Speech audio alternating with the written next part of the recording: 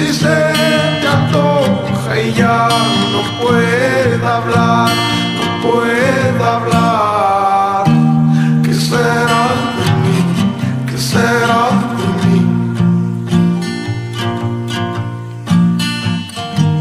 ¿Qué será?